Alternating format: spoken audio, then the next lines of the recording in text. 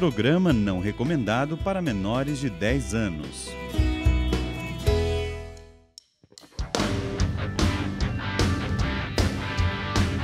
É isso aí, galera, ao vivo!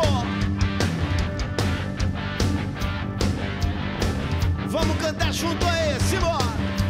Se acontecer um barulho perto de você, é um anjo chegando para suas orações e levá-las a Deus. Então, abra o coração e comece a louvar. Sinta o gozo do céu que se derrama no altar. E o anjo já vem com a bênção nas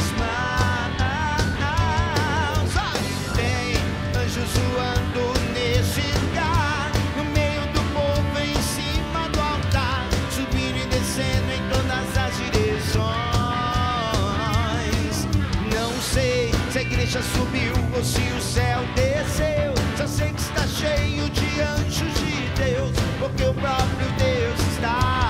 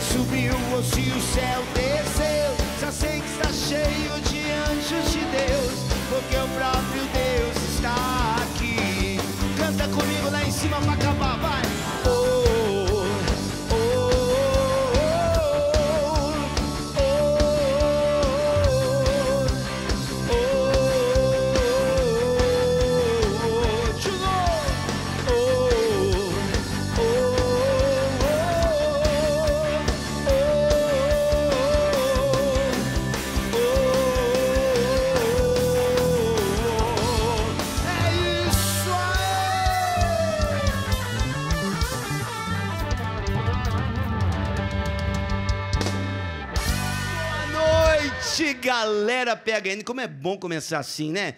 Pedindo a intercessão dos santos anjos, clamando o nosso anjo da guarda. Você vai entender por que, que a gente começou a cantar assim, tem tudo a ver a história de hoje com os anjos, beleza? Deixa eu dar uma boa noite pra galera geral aqui. Do meu lado esquerdo, o Ministério de Música Canção Nova. A galera que arrepia demais, viu, gente? Você viu? Começamos pra cima, né? Essa galera aí é fera. Na minha frente aqui, os cinegrafistas, operadores de áudio, o pessoal da ilha de edição ali, central técnica. Um abraço para todo mundo. Deus abençoe a família de cada um. Todo mundo aqui trabalhando para você, para levar para você essa proposta do por hoje, não. Por hoje eu não vou mais pecar. Tá ok? Ó, tem presente para você que participar do, do PHN hoje. Essa noite é dia de Pix PHN, beleza? Pix PHN é a última terça-feira do mês, agora de março, tá bom? Dia 29, aniversário da minha mãe, gente. Um beijo para dona Maria Augusta. Dia 29, última terça-feira do mês. Todos os jovens dessa geração PHN convocados para fazer um Pix de qualquer, de qualquer valor, tá ok? Não é sorteio, tá bom? Nada disso, é só um presente que nós vamos preparar, já preparamos para você, tá? Mas deixa eu dar uma boa noite pro padrão aqui. Boa noite, padrão, sua benção. Boa noite, Peter. Deus Beleza? abençoe. Isso aí, né, padre? Estamos juntos de novo. Estamos juntos. Vamos lá juntos e olha o testemunho de hoje é de um cara conhecido, viu? Super jovem, super capacitado. Fala um pouquinho dele aí pra gente, padre. Opa, ele é natural de Barretos. Olha só. Membro da comunidade Aliança de Misericórdia. É, tem um currículo Incrível. é, acadêmico fantástico, né? Na área da filosofia, teologia, graduação, pós-graduação, mestrado, doutorado. Fala mais, Peter? Eita, não, vamos deixar ele falar Não, um pouco e, ele, também, né? e ele estava Fala aí. aqui, né? No acampamento agora, Isso. conosco. Já está praticamente da casa, né? Vira e É. mexe, ele vem aqui para estar conosco. Tem um coraçãozão assim, pega, é, PHN, né? Tem um coração canção nova. Por isso a gente vai se identificando e sempre ele está aqui. Você vai conhecer a história dele e você vai perceber a quantidade de conteúdo que esse cara tão jovem tem, né, padre? Bonito ver isso, É, né? E legal também, você começou cantando a música Tem Anjos Voando, né? Isso aí. Tem tudo a ver com a história então como ele, eu falei. isso, ele se, de- se dedica né, à evangelização, aí tem um conhecimento enorme sobre os santos anjos e ele vai falar um pouco aí para nós, mas também falar da sua vida, né? Isso aí. A sua história e o quanto Deus agiu aí na sua vida. Legal. PHN underline oficial. PHN underline oficial. Deixa eu voltar a falar do Pix, que é o seguinte. Último dia de campanha, tá? Você é convidado a fazer o seu Pix para ajudar a Canção Nova. Talvez você não saiba, mas a Canção Nova, ela não tem propagandas comerciais, tá? A gente não vende o horário da nossa programação. Nós vivemos da providência que se revela, que se manifesta através das tuas mãos, tá bom? Então, Nessa noite, um incentivo a mais para você. A gente começou bem singelo, acabou ficando recheado aqui o presente, viu?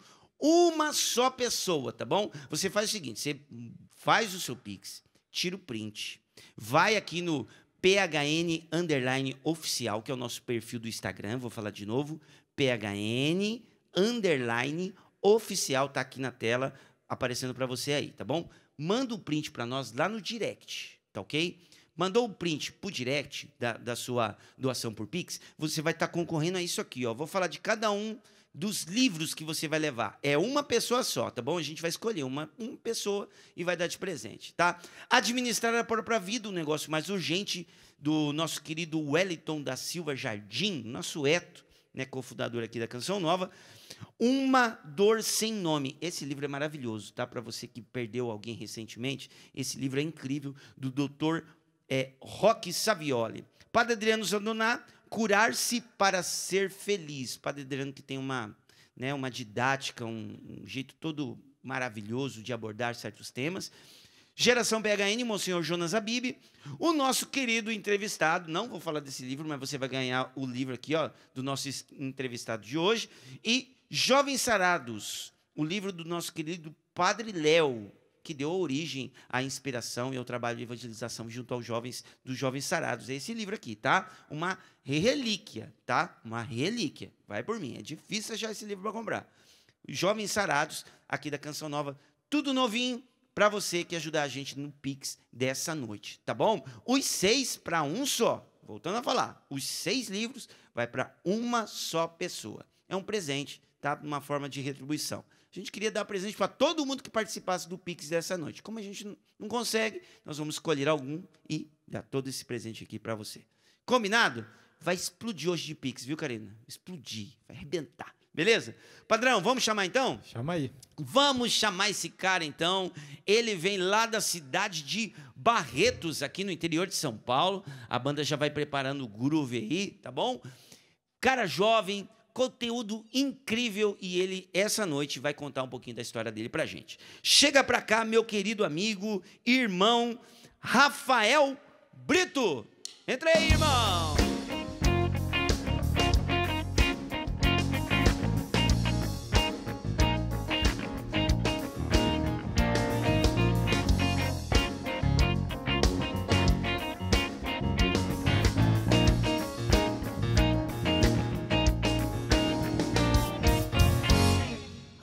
Rafael Brito, que honra, irmão. Boa noite, seja A bem-vindo. honra é minha de estar aqui nesse lugar tão maravilhoso que daqui sai tantas inspirações para os jovens do Brasil inteiro. Que legal, Rafael. Ó, é, muito feliz de ter um, um jovem. Qual, qual a sua idade? Desculpa a indelicadeza. Jovem. Né? jovem de, de coração, tenho 39. 39 anos, um jovem, gente. Um jovem mesmo, de fato, com um conteúdo incrível, super capacitado e com uma história também, assim, que encanta a gente, né? Da intervenção de Deus na vida das pessoas, tá? É, deixa eu começar falando do livro, porque tá ali de presente também para quem participar do Pix. É, fala um pouquinho desse livro aqui, o Rafael. O Rafael já deu de presente aqui para mim o livro, deu para o padre e deu já também para a gente dar de presente aí para quem participar do Pix. Olha o livro aí, ó. Fala um pouquinho desse livro aqui, Rafael. Esse gente. livro é o segundo de uma trilogia, né? O primeiro é o Segredo dos Anjos e esse é o Mistério do Anjo da Guarda. Especificamente esse livro é para você aprender sobre o teu anjo da guarda, quem é, como se relacionar com ele, o que, que a igreja fala então é um estudo teológico profundo com uma linguagem simples para você se relacionar e conectar-se com seu anjo. Maravilhoso. Já já a gente vai voltar a falar do livro, mas eu quis começar porque ele está no presente ali, né, do Pix dessa noite. Pix, Pix, Jovem PHN, beleza? Essa noite, vai lá, não deixe de participar não. Vamos lá, Rafael, vamos começar aqui então, começar um pouquinho, conhecer um pouquinho dessa história sua incrível. É, o que que aconteceu, cara? É, no período da sua gestação, né? É, os primeiros momentos da sua vida, a manifestação da misericórdia de Deus, né? Que inclusive é, fez com que você tivesse esse nome, Rafael. O que, que aconteceu durante a gestação do Rafael? Então, minha mãe, ela ficou grávida de mim muito cedo, com 14 anos. E aqui começa a minha história, porque meu pai não assumiu a minha paternidade. Então, mamãe, naquele tempo antigo, né? Minha mãe tentou esconder a gravidez por três meses, mas criança, como que você vai esconder a barriga, né? Então, durante esse período, quando chega uns cinco meses e meio de gestação, a minha mãe teve uma complicação muito séria por uma situação que aconteceu de uma de uma briga que teve com um tio meu que queria que ela me abortasse. E aconteceu que minha mãe disse que não e nessa briga minha mãe foi para o hospital com a placenta já toda estourada, enfim, entrando em trabalho de parto. Ficou no hospital em 1983, tentando segurar essa criança, até que então o médico disse: Olha, ó, a, essa jovem, né, 14 anos, ou a criança, escolhe aí. E minha mãe lutou muito e disse: Não, se for para morrer, vai morrer os dois. Naquele momento, ainda conseguiu ficar e eu nasci de seis meses e meio, praticamente quase sete. É, naquele momento, o médico disse: Olha, ele vai ter só em torno de 72 horas, três dias de vida. Minha mãe foi para UTI e uma freira, a irmã Brígida, lá de Barretos, que batizou a cidade inteira praticamente, ela falou para minha mãe: Como que vai ser o nome do menino? E a minha mãe disse: O nome dele vai ser Marcos Aurélio. Ela falou assim: Muda o nome dele para o nome do arcanjo, de Rafael, porque nós vamos pedir para que Rafael seja o padrinho dele no batismo. Então, sendo que eu estava na incubadora, nasci com 960 e poucos gramas, a irmã foi lá com conta-gotas e me batizou com três gotinhas na cabeça. E aí a contagem do médico, ele até hoje está tentando entender por que, que eu estou vivo até hoje, né? Que maravilha. Rafael. E a partir disso, já a minha experiência com os anjos, sobretudo com o querido São Rafael, já começa aqui. Que incrível. Te ver falando assim dos anjos, com um livro, né? Esse livro aqui, incrível, que você já começou falando um pouquinho dele também.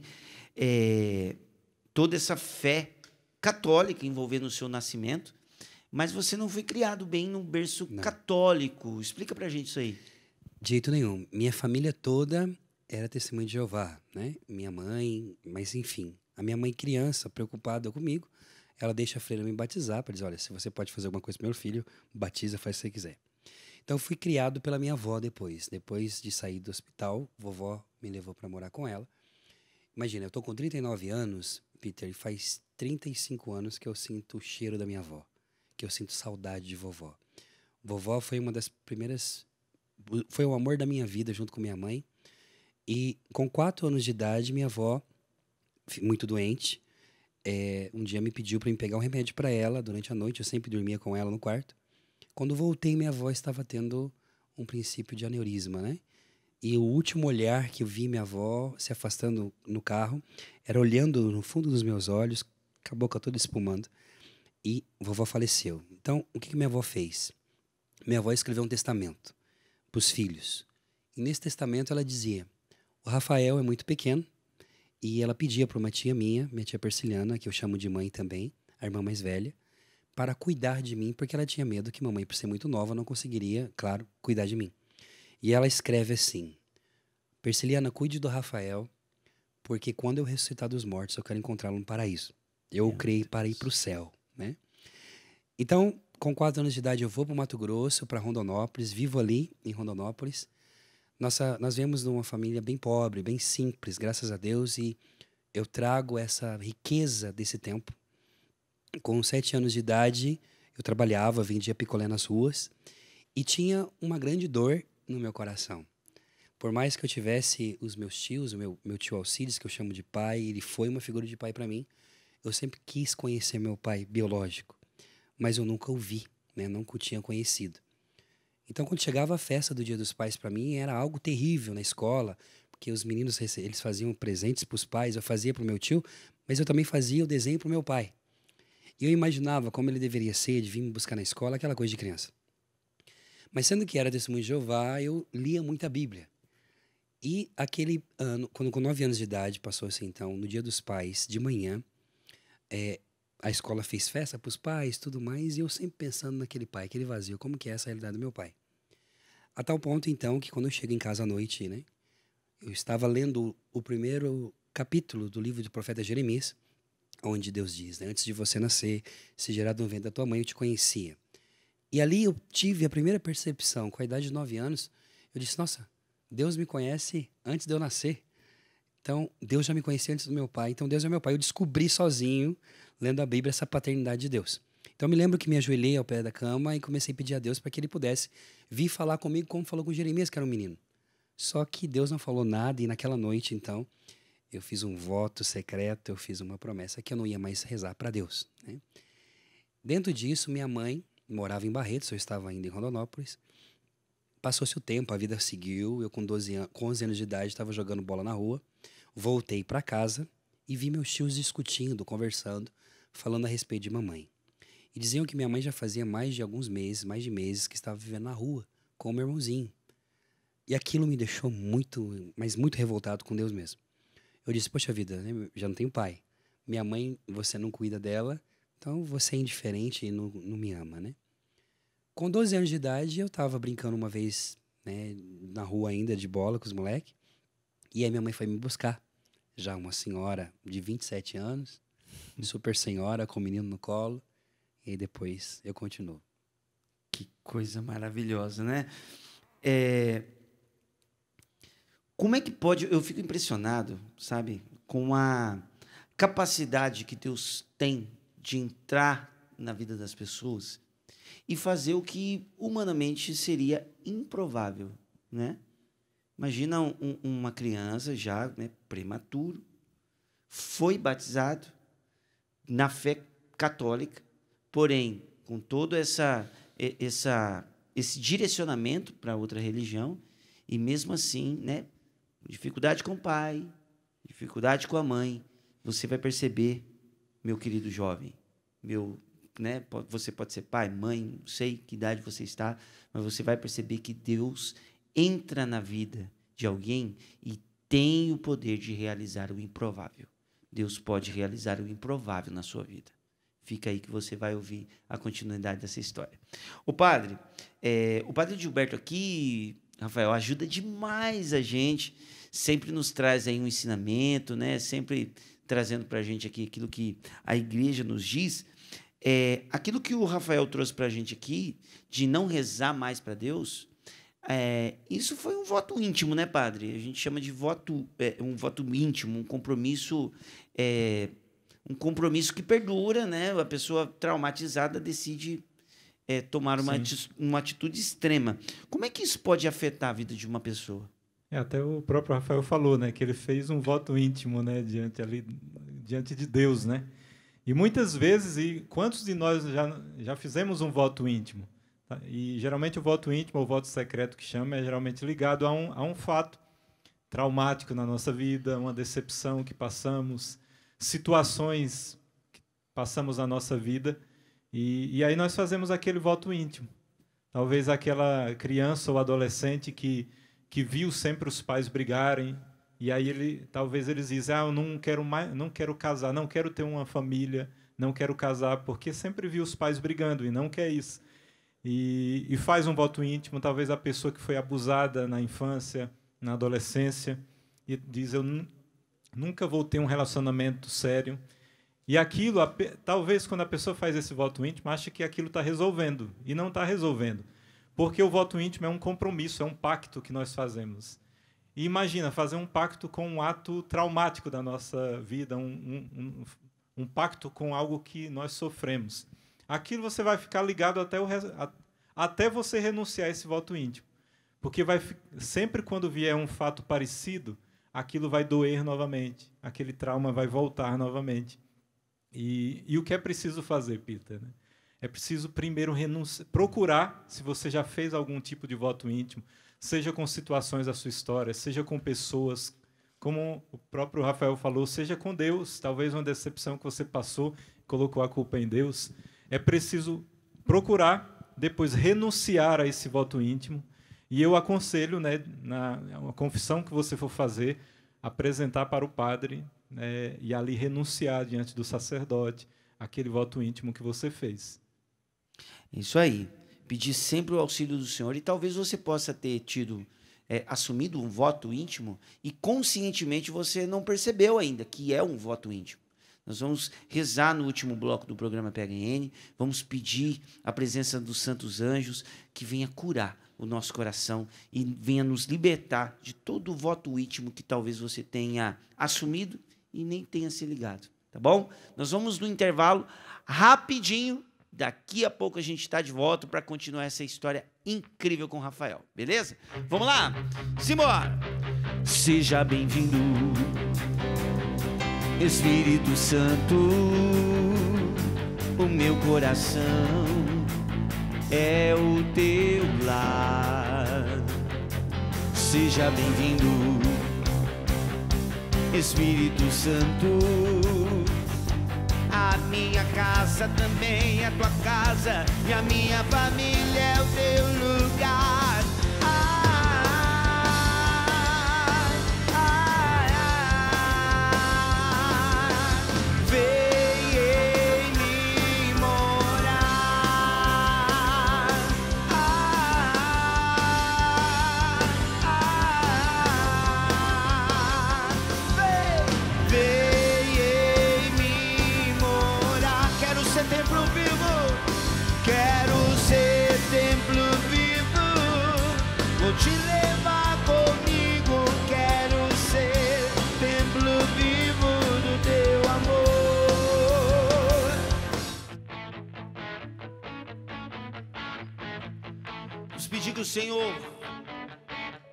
Nossa vida, governe nossos instintos. Faz muito tempo que eu não paro um pouco para pensar em tudo que eu vivi. Já nem me lembro quando entrei nesse jogo de brincar de ser feliz. Em meio a tantos desafios da vida, da verdadeira vida eu me afastei. Me olhei no espelho e falei pra mim mesmo: Tô cansado de errar. Faz muito tempo que eu não paro um pouco para pensar em tudo que eu vivi. Já nem me lembro quando entrei nesse jogo de brincar de ser feliz. Em meio a tantos desafios da vida, da verdadeira vida eu me afastei.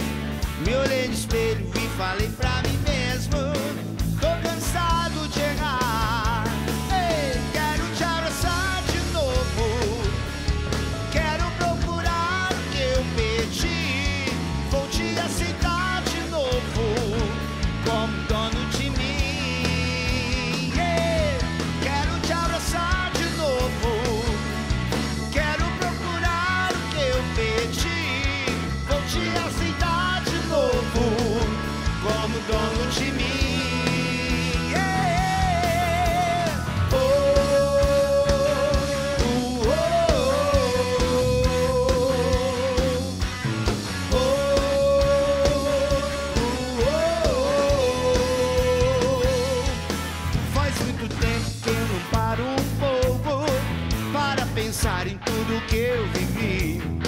Já nem me lembro quando entrei nesse jogo de brincar de ser feliz. Oh, oh, em meio a tantos desafios da vida, da verdadeira vida eu me afastei. Me olhei no espelho e falei pra mim.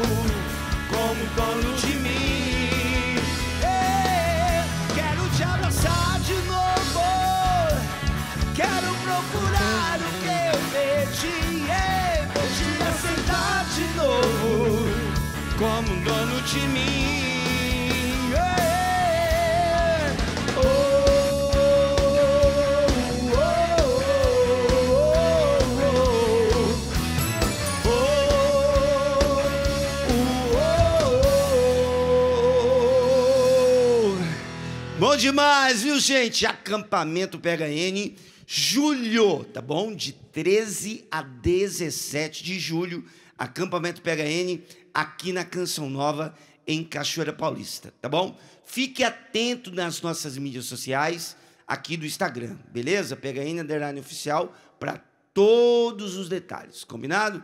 Belezinha? Então, fechou. Bom, ir ali no padrão ali. Ô, meu padre, tem um recadinho aqui com o padre aqui. Me lembra aqui, Karina? Falei pra É do mim, formulário, do padre. formulário Isso, pega aí, né? tem, eu sabia que tinha alguma coisa. Explica pra gente que negócio que é esse de formulário, padre. Então, vou ensinar como chegar lá, né? Ó, Vamos embora. Não, não sei se vai, vai mostrar aqui, mas tem a bio no Instagram. Geralmente quase ninguém, nós falamos, É. mas a galera não sabe a entrada. Eu mesmo demorei um século pra entender. então, no perfil, ó. PHN underline oficial. Ali, ali, padre, mostra ali, ó. Ali, ó. Aí. Você vai, ó, tá pegando direito aí? Aí, ó. PHN underline oficial, você vai nessa parte é, aqui inicial, onde tem o, o- aqui do, do PHN por hoje não vou mais pecar e tem um link em azul. Ali, aqui é o formulário. Você vai clicar nesse link, que aqui é, é onde tem o formulário, né, Isso Peter? aí, vai abrir uma Onde- página, né? Isso. E aí vai abrir ali o formulário para você colocar todas as né? informações. Vai Isso, preencher aí o seu vai preencher. nome, tudo. E Isso aí. coloca o seu testemunho lá para nós, né? É isso aí. Nós aqui do PHN, nós queremos conhecer a sua história, tá bom? Então nós estamos tendo essa iniciativa para você contar essa história pra gente.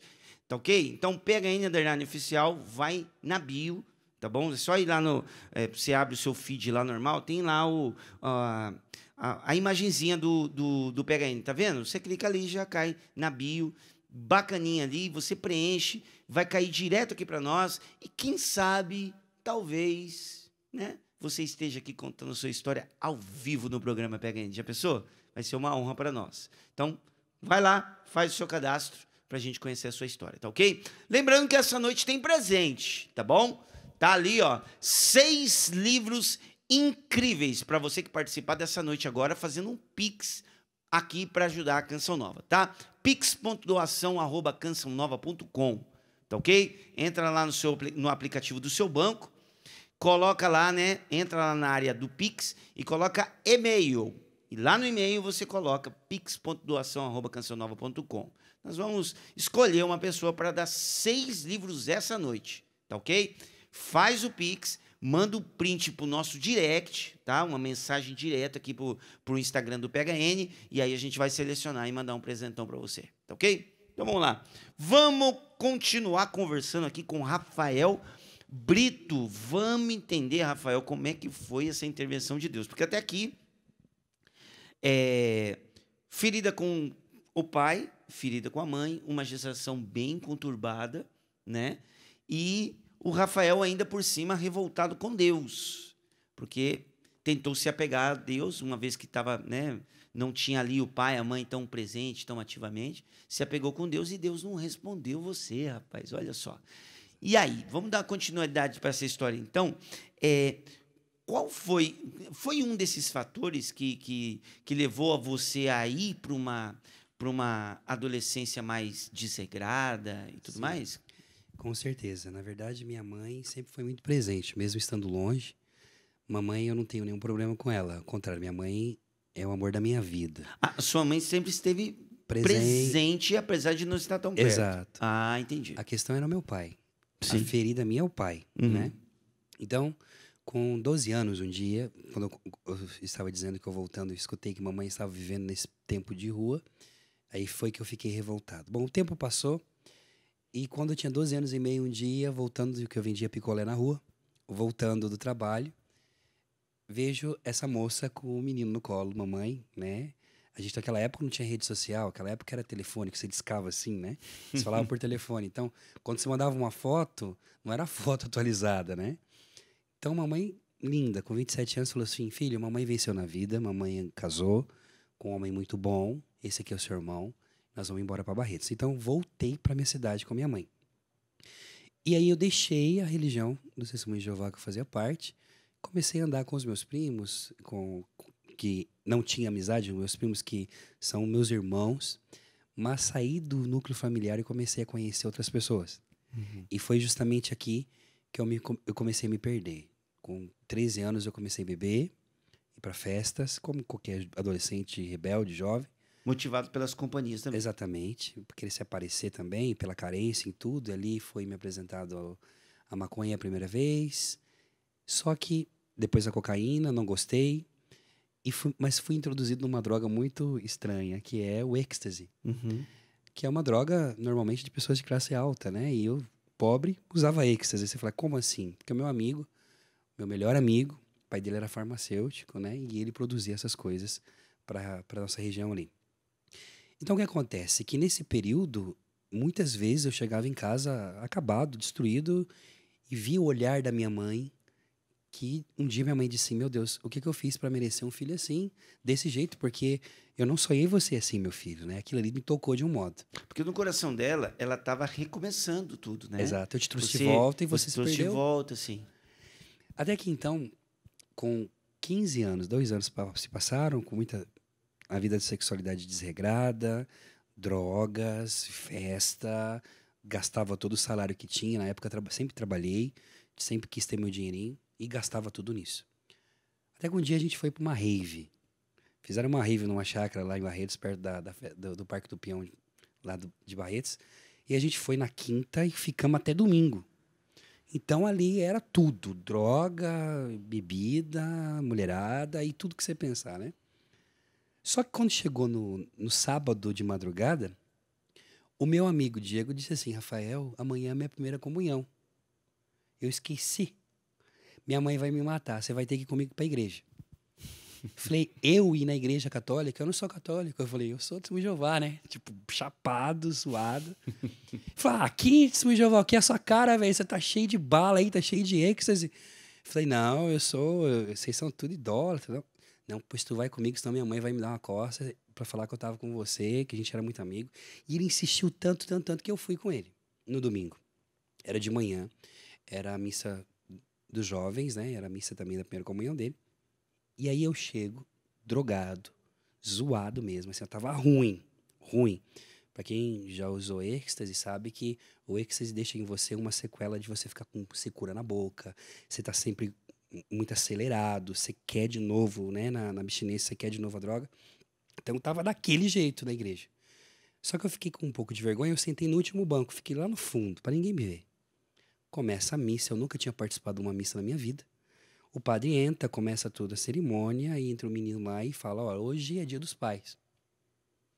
E nós estamos rezando pelos pais que estão presentes e ausentes. Hoje é a primeira comunhão de alguns aqui. Anuncia, achei, caramba, velho. Depois de tanto tempo sem falar com Deus, o dia que eu entro num lugar onde que se diz que tem Deus, pai de novo, já fiquei irado ali. né? Já voltou toda a minha história. Começa a missa. E aí o rapazinho sobe lá e faz assim: leitura, aponta, né? Acho que devia ser ensaiado, sei, só que ele apontou: leitura do livro do profeta Jeremias, primeira leitura da missa. Antes de você nascer, esse Geraldo 90 da tua mãe eu te conhecia. Espera só um pouquinho, Rafael. Tem uma surpresa para você. Tem uma pessoa que mandou um vídeo justamente sobre essa passagem bíblica que você citou agora. Tá pronto aí? Roda aí pra gente ver. Vamos lá. Antes mesmo de te modelar no ventre materno, eu te conheci. Antes que saísses do seio de sua mãe, eu te consagrei. Eu te constituí profeta para as nações. Quem que é essa pessoa que deu? É minha esposa, a Lília. Aí vocês quebram eu, não consigo fazer o peguei mais. Né? Toda vez que eu escuto essa passagem, quando eu leio ela, é Deus me dizendo sempre: Cara, eu nunca desisti de você. Porque quando eu escutei essa passagem a primeira vez, ali na igreja, Peter estava drogado, cara, eu estava zoado.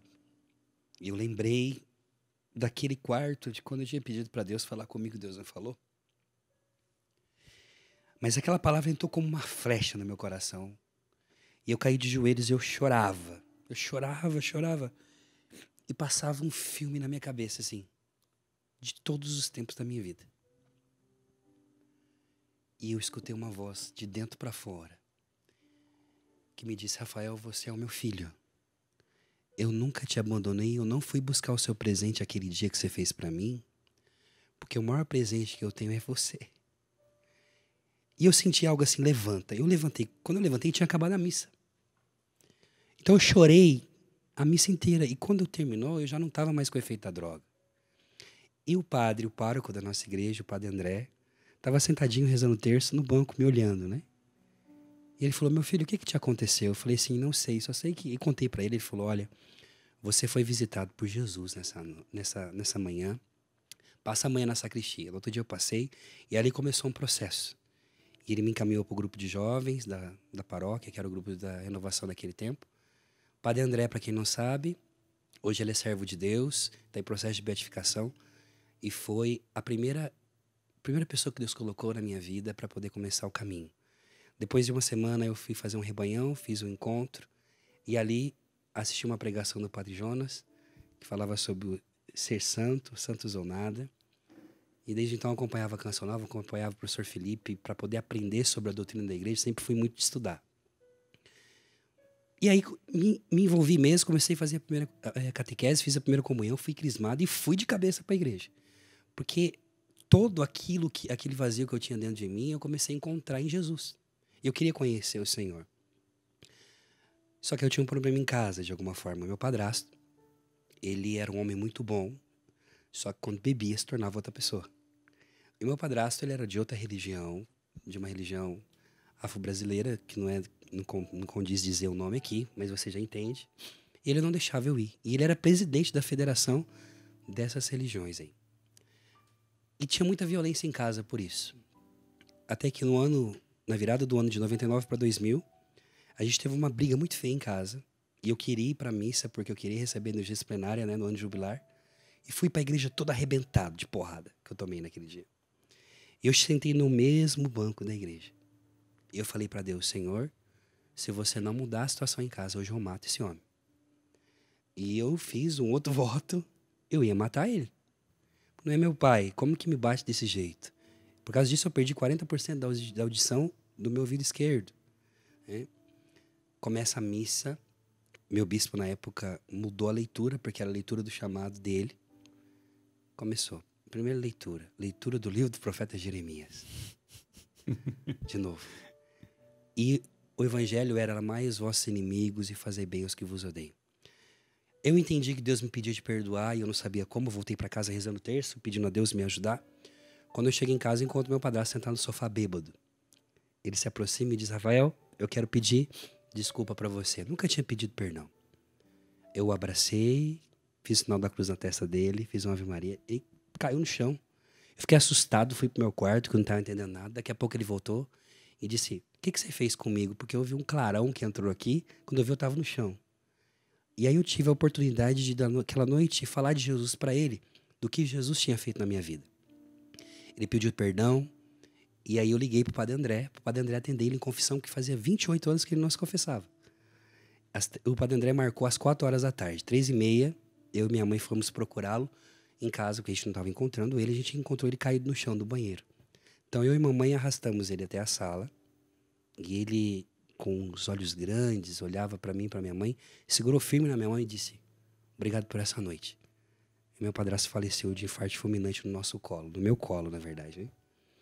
Então meu, meu padrasto morreu e no velório dele, enquanto eu chorava muito, o padre André disse para mim, meu filho, o perdão que você deu nessa noite antecipou e abriu as portas do céu para seu padrasto, né? Pode pedir a intercessão dele, porque ele foi para a glória, que você o perdoou.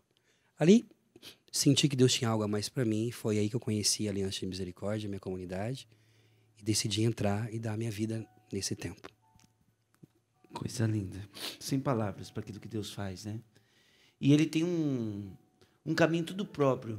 A gente não percebe Deus só se a gente fizer muito esforço intelectual, né? Um, é um esforço intelectual muito grande.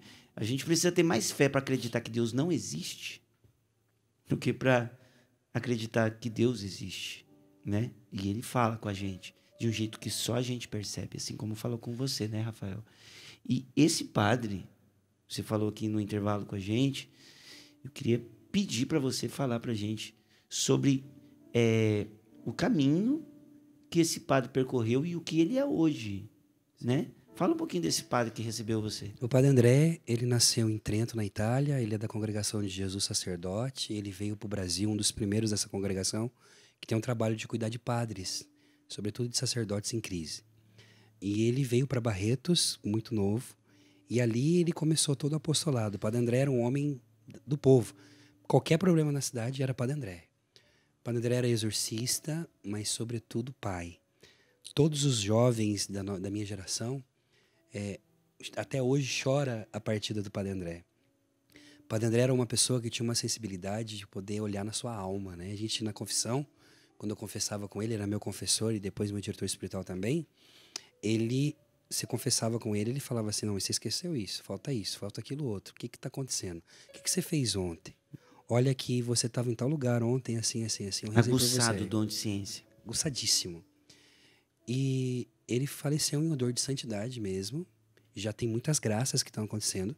Então, o bispo Dom Milton Kenan, em 2010, se eu não me engano, abriu o processo canônico para a canonização dele. Então ele já é reconhecido pela igreja como servo de Deus. Que lindo. E agora ele vai passar a ser venerável, né? Que é antes de tornar beato. A gente fala do PHN, sabe, Rafael, e você que está em casa. A gente fala do PHN, fala de lutar contra o pecado, porque a gente corre o risco de nessa vida a gente lutar por tantas ideias. Só que, queridos, ideias não mudam o mundo. O que muda o mundo são os santos. O que é, deixam marcas, aqueles que deixam marcas que o tempo não corrói neste mundo, são os santos. Os santos são aqueles que Deus escolheu para, através deles, transformar o mundo. E como que a gente transforma o mundo? Deixando Deus no coração de cada pessoa. O Rafael teve a oportunidade de cruzar o caminho de um santo. E Deus se utilizou daquele santo para trabalhar no coração do Rafael. Ah, meu irmão, a santidade pode mudar a sua vida. A santidade pode mudar a sua casa. A santidade pode mudar os seus filhos. A santidade muda tudo. Como é que começa isso? Começa hoje, dizendo não ao pecado. Dentro da mesma sigla do Por Hoje Não, nós tivemos uma nova inspiração que diz da, daquilo que é a história do PHN, Rafael. A gente sempre olhou para o PHN e viu por hoje não, por hoje não vou mais pecar. Hoje, a gente olha para essa sigla que está aí na sua tela e a gente também vê Projeto Homens Novos. Homens Novos para um mundo novo. Esse homem novo, essa mulher nova, ela precisa ser um projeto, o principal projeto na sua vida, na minha vida, na nossa vida. Sabe por quê? Porque a santidade muda tudo. Eu tenho essa certeza no meu coração de que muitos corações estão sendo tocados agora com essa expressão. A santidade muda tudo. A santidade muda tudo. Tá bom? Bom, deixa eu fazer uma perguntinha aqui para o padre Gilberto. É... Aliás, perdão. É uma outra pergunta aqui pro para o Rafael. Rafael, o que, que você poderia dizer agora para uma pessoa que está em casa com dificuldade de perdoar alguém? Seja livre, porque quando você perdoa, você deixa aquela gaiola que te prendia ir embora. Ela nem é aberta, ela vai embora e fica você. O perdão, ele é a capacidade que se tem de entregar. O que é o perdão? Né? O perdão é você entregar o seu direito de justiça nas mãos de Deus, sabendo que Ele não vai agir como você. Ele vai abençoar, Ele vai fazer prosperar. Então você perdoe e você vai aprender a ser uma pessoa melhor e a ser livre. Coisa maravilhosa. A gente vai para o intervalo. A gente tem muita coisa para viver ainda nesse PHN. Mas agora, a gente vai voltar no próximo bloco, nós vamos rezar. Mas agora, do jeito que você está, coloca a mão no seu coração. Coloca a mão no seu coração e deixa Deus intervir naquele lugar que você nunca deixou ninguém entrar. Sabe aquele lugar secreto? Você guarda as sete chaves, você não conta para ninguém. Deixa Deus entrar nesse lugar. Deixa Deus entrar nesse lugar secreto. Nesse lugar escuro. Toda vez quando você pensa nesse lugar, você lembra daquela situação e volta para você aquela mágoa, volta aquele ressentimento. Deus quer entrar neste lugar.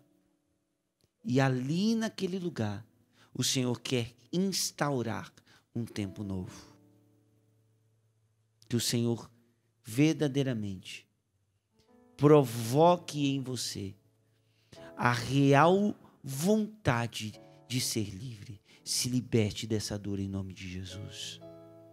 Nós vamos pedir a intercessão dos santos anjos. Essa cura vai acontecer essa noite.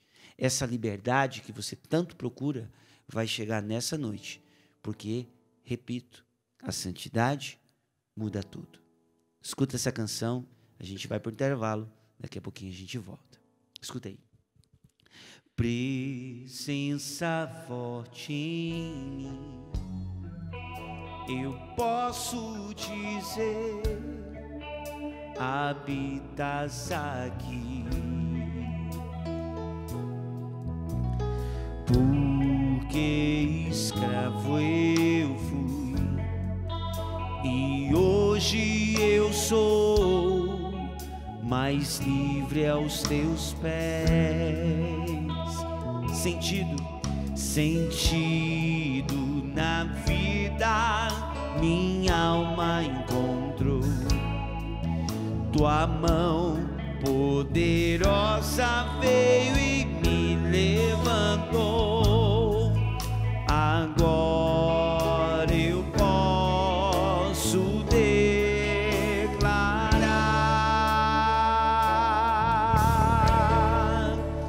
hoje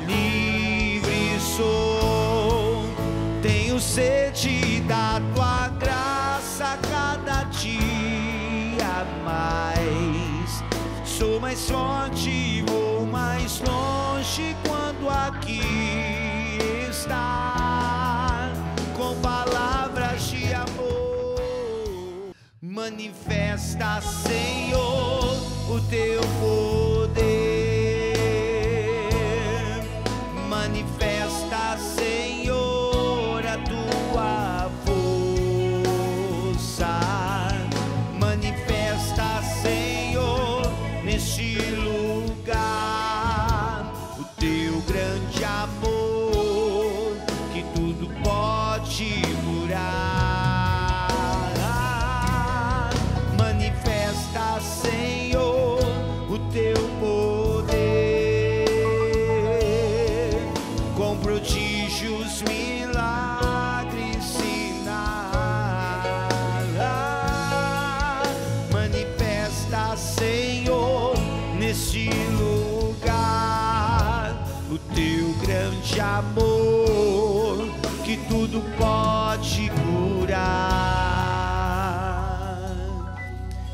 Neste último bloco do programa PHN, nós vamos pedir isso. Manifeste, Senhor, o seu poder, a sua força. Tá bom? Fica com a gente que nós vamos rezar por você. Nós vamos pedir para que os santos anjos chegue até onde você está, para que a graça de Deus seja abundante na sua vida, tá bom? Fica aí com a gente, que a gente está se encaminhando para o finalzinho e eu tenho certeza que Deus, Deus tem algo muito especial para nossa vida nessa noite, nesse momento de oração aqui no PHN, beleza? Bom, último dia da campanha do projeto, aliás, desculpa, última terça-feira do mês, nós estamos em reta final de campanha do projeto Daime Almas, tá? Que é o projeto que mantém todo o sistema Canção Nova em funcionamento, tá bom? Então nós estamos com uma iniciativa aqui dentro do programa PHN que é o Pix PHN Jovem, beleza? Pix PHN Jovem.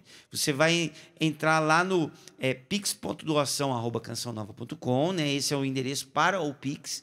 Entra lá no, no, seu, no aplicativo do seu banco e através deste e-mail aí, pix.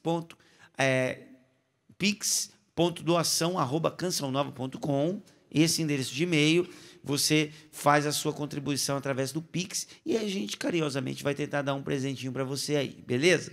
Então, não é sorteio, é um presente. A gente vai escolher alguém aqui e essa pessoa vai levar esses seis livros. Olha só que interessante aqui, Rafael, vou mostrar aqui, vou fazer questão de mostrar uma doação. A galera está perguntando aqui, Peter, de quanto que tem que ser essa doação de Pix?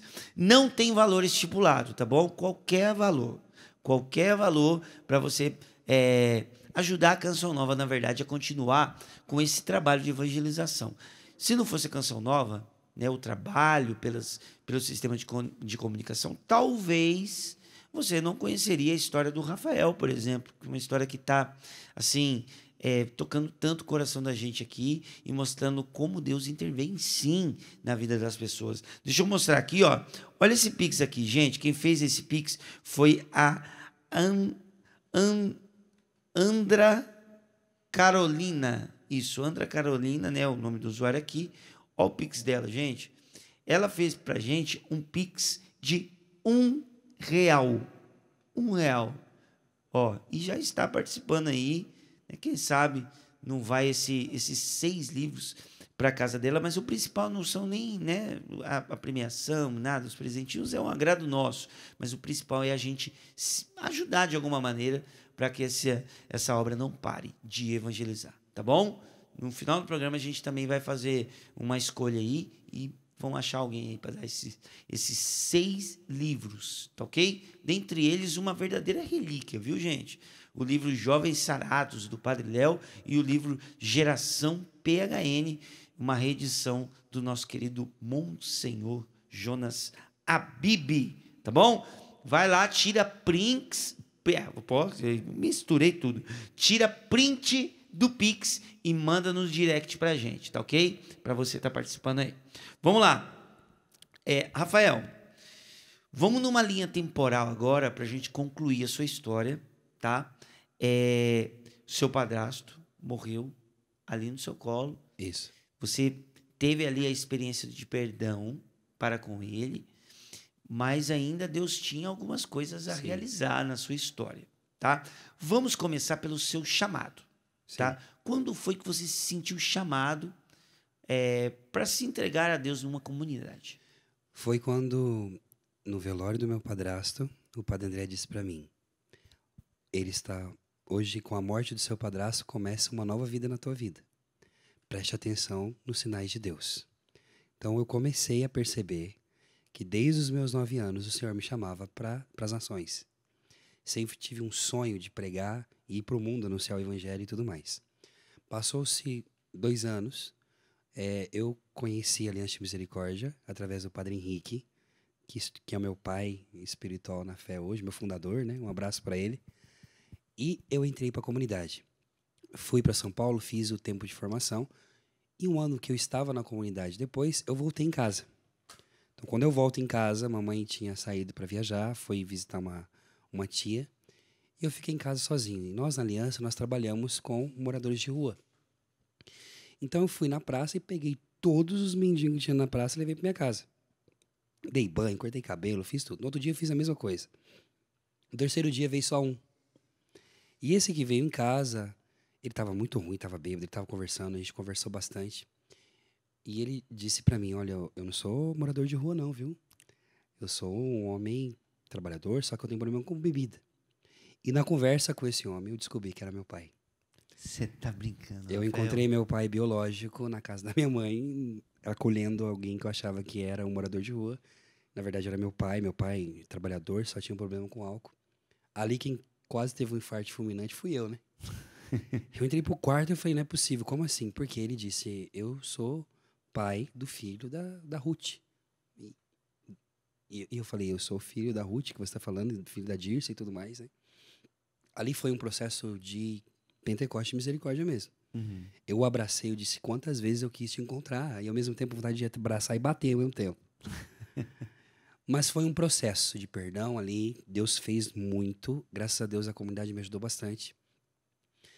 E eu meu pai, a gente se reconciliou mesmo. Meu pai se reconciliou com a minha mãe, no sentido de voltar a conversar com ela, e foi linda a história. Passou-se o tempo, com 23 anos, eu fui enviado em missão para Portugal, para a Europa, para abrir as missões da Aliança de Misericórdia na Europa. Então, morei em Portugal, abri a missão de Portugal, depois abri a missão de, da Polônia. E quando nós estávamos na Polônia, em 2012, eu estava pregando para 800 padres. Estava contando essa história para uma diocese inteira. Era um retiro para sacerdotes. Tinha 800 sacerdotes e três bispos nesse dia. Estava junto com o padre Henrique também. Quando terminei de, de contar a história, chega a notícia da minha esposa, que na época era minha namorada, que mamãe estava tentando falar comigo e não conseguia. Meu pai tinha falecido. Meu pai teve um problema na úlcera que ela tinha no estômago, estourou. E meu pai, nas últimas horas de vida dele, ele dizia: Diga ao Rafael de vir logo, que eu quero despedir do meu filho. Então, papai morreu pensando em mim, né? E eu não pude sepultar meu pai. Naquele ano de 2012, na missão da Polônia, morreu o papai dia 13 de maio, depois minha tia, outra tia, primo, morreu 11 pessoas da minha família naquele ano. Então pensa, for um menino for fundando uma missão junto com a fraternidade, responsável de missão, linha de frente, entrei em depressão.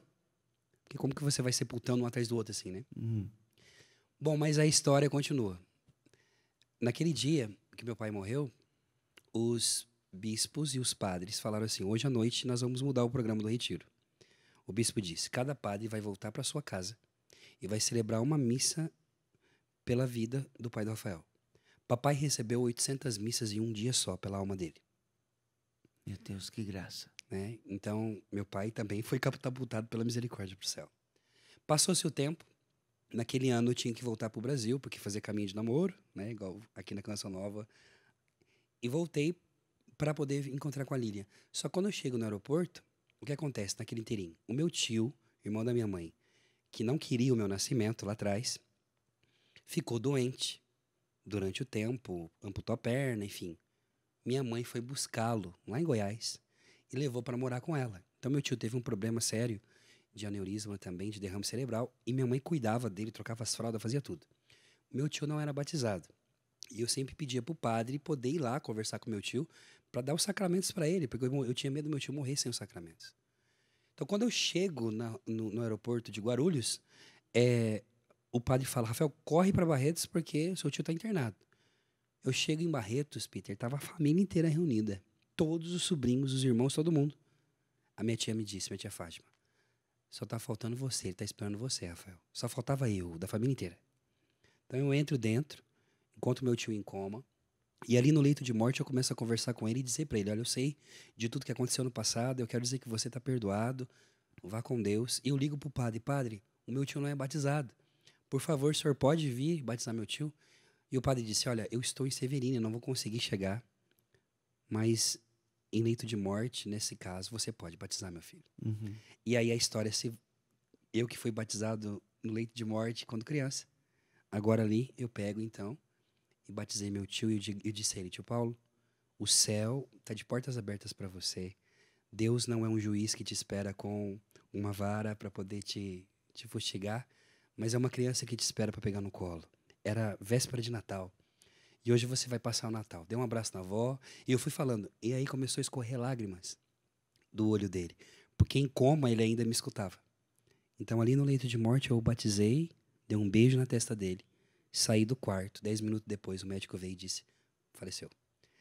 Assim termina a minha história de misericórdia. Deus, ele. Meu Deus. É isso. Rafael, olha, eu estou de fato impactado com a sua história. É por conta do, do das, das amarras, assim, do como essa história foi sendo, é como a trama de um de um tecido entrelaçando e formando algo, né? É inevitável não ver Deus agindo e curando você em cada um desses detalhes da sua história. É... Quando uma pessoa se depara, porque você é um evangelizador, quando uma pessoa se depara diante de você, é, em crise de fé, ou até mesmo talvez é, não acreditando muito que Deus existe. Né? Uma pessoa que se depara com a gente, não, Deus não existe, Deus não olha para mim. É, qual, qual fator, qual fator que te vem mais à memória nessa, nessa questão da pessoa falar que não, não acredita em Deus e de repente você você se arremete na sua história e qual fator mais é, evidencioso que você percebe da existência de Deus? Qual, qual desses fatores para você é o é essa imagem que você tem na sua camisa. É desse abraço. Quando na teologia a gente aprende, São Tomás de Aquino tem as cinco vias que ele ensina sobre é, a existência de Deus, que pode provar-se é, racionalmente a existência de Deus. Mas para mim a existência de Deus não é a teologia que explica, não é a filosofia, não é a intelectualidade. É esse abraço. É Deus o tempo inteiro, apesar de eu não acreditar em mim mesmo, apesar de eu vender tudo que tenho, vender os meus valores, ir para os porcos. O pai que não desistiu, que espera, que abraça, que assume de novo, que gera, né? Então, quando alguém fala para mim, ah, eu não acredito em Deus, eu digo sempre para ela, não tem problema. Deus acredita em você como acreditou em mim num tempo em que eu também não acreditava nele. Se eu pudesse sintetizar, tudo é sobre o amor. PHN é sobre um amor maior. Por que, que eu por hoje não vou mais pecar? é porque eu quero amar alguém que me amou por primeiro. Não é sobre simplesmente ser um ato heróico de não pecar. Porque pecar você vai pecar todos os dias, mesmo você dizendo que por hoje não. Mas é o fato de que você acolhe na tua vida esse amor que decidiu fazer morada em você. A música que você contava no início. Você, seu coração, a minha vida é uma extensão da morada de Deus. Deus se apraz de poder sentar com a gente à mesa, igual nessa conversa aqui, e poder se alegrar, né? Que bom estar aqui nesse lugar e falar com você na sua casa e dizer para você isso. Deus não desiste de ninguém. Deus não desiste de ninguém. Agora você disse algo para nós aqui, o Julie, pode fazer o, o fundo da música aí para a gente rezar? Você disse algo aqui no, nos bastidores aqui do programa, Rafael, sobre é, a presença, o vínculo dos santos anjos com o propósito de não pecado. Pega ainda. Eu achei incrível isso, cara. A gente não poderia encerrar de outra maneira senão você trazendo isso que você trouxe aqui no bastidor para quem está acompanhando Sim. a gente agora. Por que você tem um anjo da guarda? Essa é a pergunta que sempre me fazem. Você tem um anjo da guarda porque Deus, ele é amor e quem ama cuida. Deus, ele criou o mundo invisível, os anjos, e o mundo visível que somos nós. Quando você foi concebido no ventre da tua mãe, Deus se manifestou e enviou um anjo para cuidar de você. Você é músico, você vai entender o que eu vou dizer agora. O anjo, ele canta canções e composições de músicas no céu. E quando ele desce, e quando a nossa mãe nem sabia que estava grávida de nós, Peter, o anjo, ele muda a melodia dele e a canção dele, as composições. Você se tornou parte das composições dos louvores que o teu anjo canta no céu. E Deus deu ordem aos seus anjos para poder te conduzir no caminho te guardar. Então o anjo ele está presente para nos auxiliar contra o pecado, contra os ataques de Satanás, contra tudo. É ele que nos amou por primeiro. Eu traduzi uma oração do cardeal Henry Newman que ele diz assim: Nem os amores da Virgem Maria, que é o melhor, nem a proteção de São José e de São Miguel, que é tão conquistadora, me foram dadas mas a você o Senhor deu. Quer dizer, o anjo da guarda é o primeiro contato que a alma nossa tem com um ser diferente da gente, com os santos do céu. O teu anjo da guarda, desde quando você foi concebido, com a idade que você tem, com a minha idade de 39 anos, no momento da concepção até agora, nesse momento que eu estou nesse PHN, ele está aqui o tempo inteiro, rezando, intercedendo, de joelhos, clamando a Deus. E eu sei que nos momentos eu começo o prólogo do livro dizendo isso, que quando eu me esqueci dele, no tempo em que eu me perdi na adolescência, era ele que intercedia a Deus pedindo para eu voltar para casa.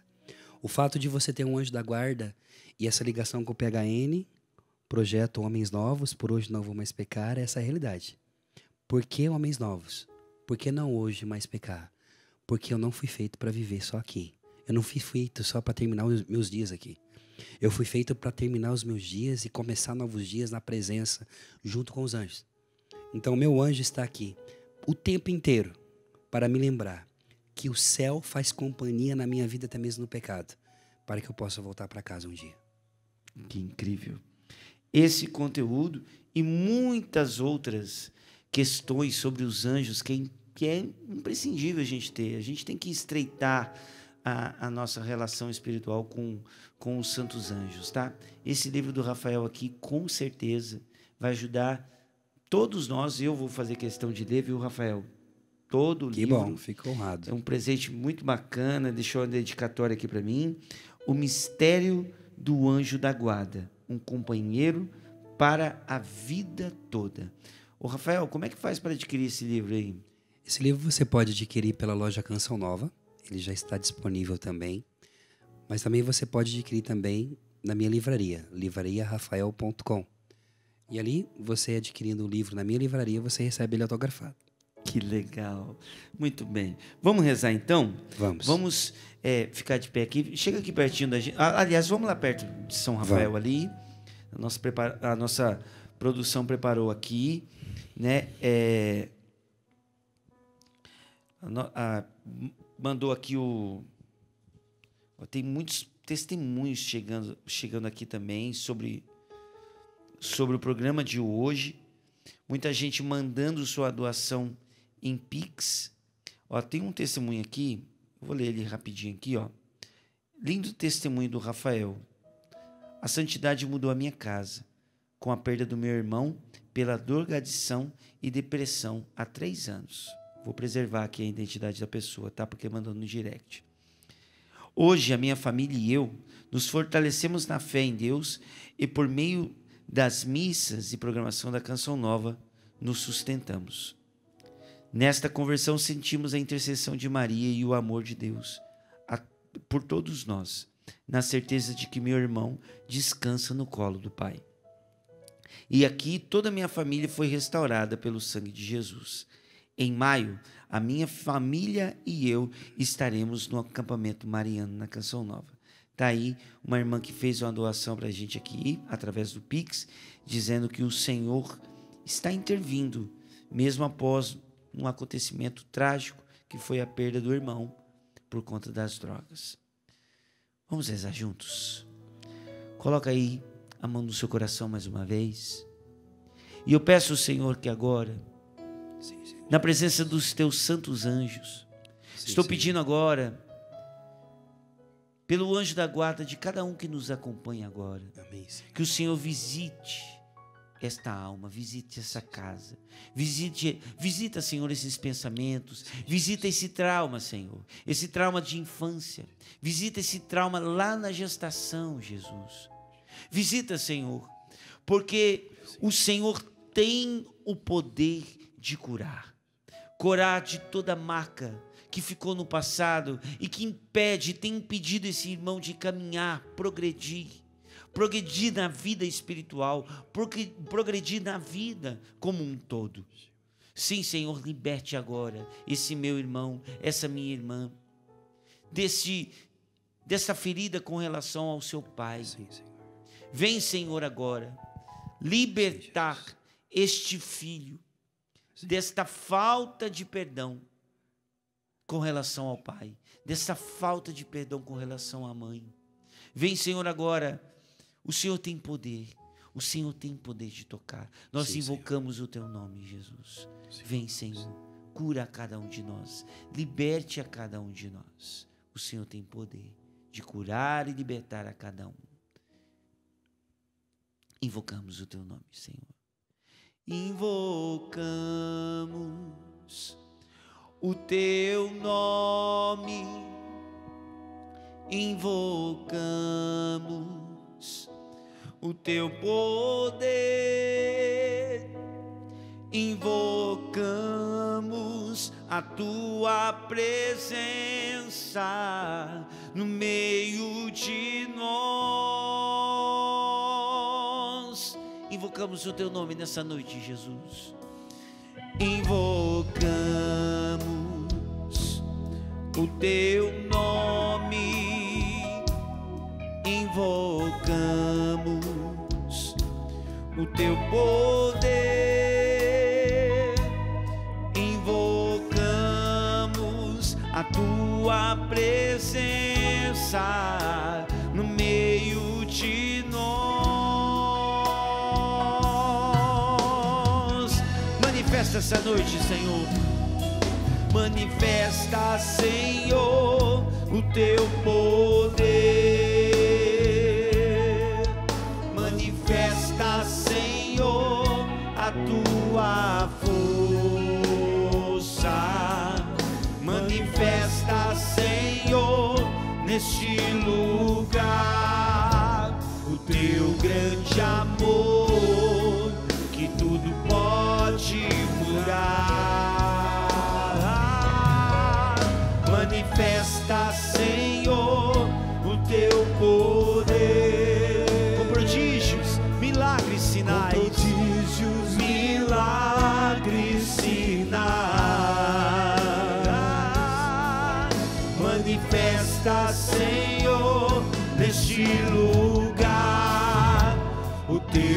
Grande amor que tudo pode curar.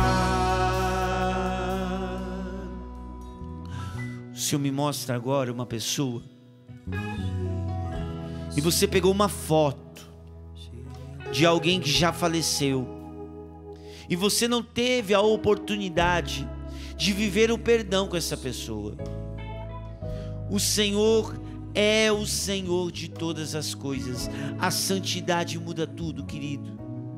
Mesmo após da morte dessa pessoa, esta ferida de falta de perdão está sendo curada agora. Amém. Você está olhando essa foto, Amém, sentindo muita saudade, muita dor, muito remorso. O Senhor está libertando agora, irmão. O Senhor está libertando você agora, minha irmã. O Senhor é o Senhor de todas as coisas. Para Ele não há impossível. Para Ele não há impossível. O Senhor está libertando você. Libertando você definitivamente desta marca, deste remorso. Essa é a palavra. Deste remorso. Obrigado, Senhor, por aquilo que o Senhor está fazendo agora. Muito obrigado, Senhor. Bendito seja. Bendito seja, Senhor. Orando no Espírito agora.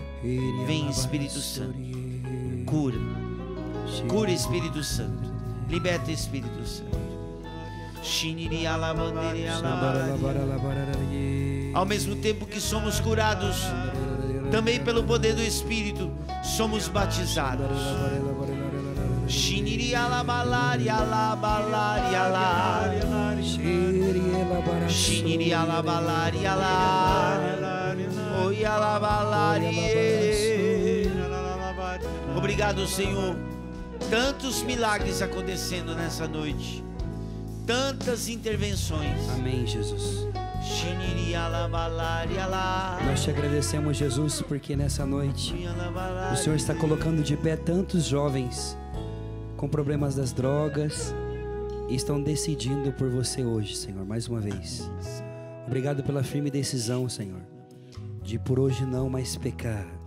Pela firme decisão de deixar você construir em nós um projeto, escrever de novo a nossa história. Que pela intercessão do teu anjo da guarda, de São Rafael, de todos os anjos e do céu que acreditam em você, Deixa Deus te abraçar nessa noite. Deixa o Senhor reescrever a sua história. Receba nesse momento agora o abraço do céu sobre a tua vida. E saiba que Deus não desistiu de você. Você é amado.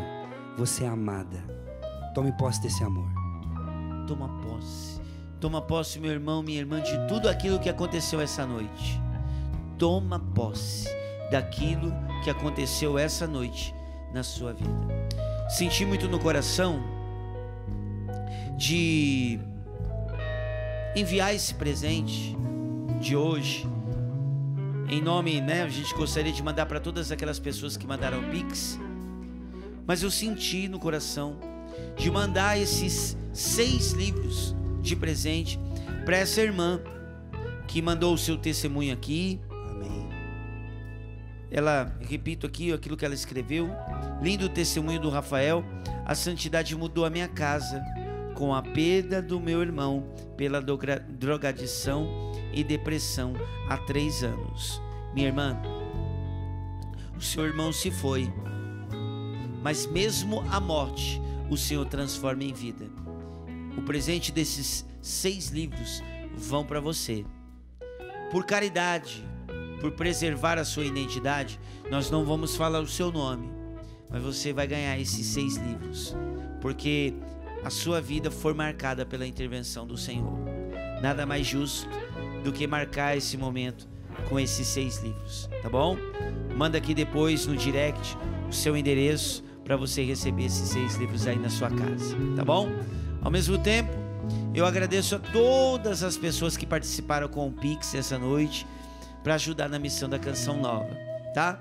Repito, não foi sorteio, não é uma premiação, é um incentivo que essa noite foi para essa irmã que partilhou a sua história conosco, mas do fundo do meu coração, muito obrigado por você que mandou o Pix dessa noite, tá ok? Não importa o valor, o que importa é a gente participar. Deus lhe pague, tá bom? E agradecendo essas pessoas que participaram hoje pelo Pix, ou talvez você que participou acompanhando o programa, quero agradecer também meu irmão Rafael. Obrigado, meu irmão, que pela história acolhida. linda, irmão. Amém. Que Deus história abençoe. linda. Ó, contamos com você mais vezes. Pode PHN comigo. tem tudo a ver com a sua história. Então conto com você para você voltar, Amém. trazer mais conteúdo pra gente que a gente precisa. À disposição. Acampamento PHN, a gente vai pegar você também. Tô aí. Tá bom? Tô dentro. Deus lhe pague. Obrigado, meu Deus irmão. lhe pague mesmo. Obrigado, equipe. Obrigado a cada um que esteve aqui conosco essa noite. Padre, valeu. Sua benção. O Senhor esteja convosco. Ele está no meio de nós. Por intercessão dos santos arcanjos, abençoe-vos o Deus Todo-Poderoso, Pai e Filho e Espírito Santo. Amém. Obrigado, Brasil. Deus abençoe a todos. Acompanhe aí as mídias sociais do PHN para sempre ter um conteúdo a mais para você buscar sempre a santidade. Manifesta, Senhor, o seu poder. Até a próxima terça, se Deus quiser. Vamos lá, cantando junto. Manifesta, Senhor. Manifesta, Senhor, o teu poder.